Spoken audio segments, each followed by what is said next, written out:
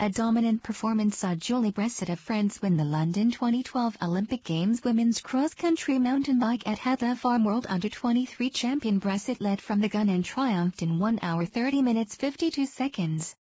The 2008 champion Sabine Spitz of Germany was second, 1 minute 026 behind, with Georgia Gould of the United States third, 6 seconds further adrift.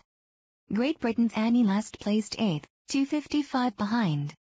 Last made a strong start on the first of six laps of the 4.7 kilometer route, carved into an Essex hillside overlooking the Thames estuary, and was in the front group early on.